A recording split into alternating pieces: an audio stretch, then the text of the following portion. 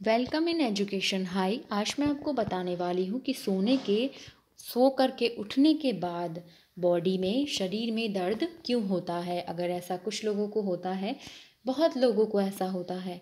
तो चलिए आज हम इसके बारे में ही बात करेंगे। यदि आपने अभी तक चैनल को सब्सक्राइब नहीं किया है तो ज़रूर कर लें। दिन में सो जाने से रात में आपकी नींद डिस्टर्ब हो जाती है। आरामदायक गद्दा और तकिया, अगर तकिया और गद्दे आरामदायक नहीं होंगे तो आपके शरीर में दर्द होने लगेगा। ओके, आपको अच्छी नींद भी नहीं आएगी इन चीज़ों को। कहें ना, कैफ़ीन अल्कोहल और चॉकलेट आपकी नींद में बाधा उत्पन्न करती हैं तो रात में सोने से पहले ये सब ना खाएँ। अच्छा गद्दा होना चाहिए, जिस पर आपको अच्छी नींद आए, आरामदायक जब गद्दे आरामदायक नहीं होते तो आपकी बॉडी पेन करती है। यदि आपको ये वीडियो जानकारी अच्छी लगी है तो चैनल को ज़रूर सब्सक्राइब करें। हमारे एजुकेशन हाई से जुड़े रहिए।